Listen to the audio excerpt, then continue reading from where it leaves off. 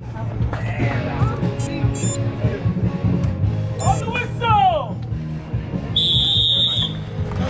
And we're up. Category twos and threes.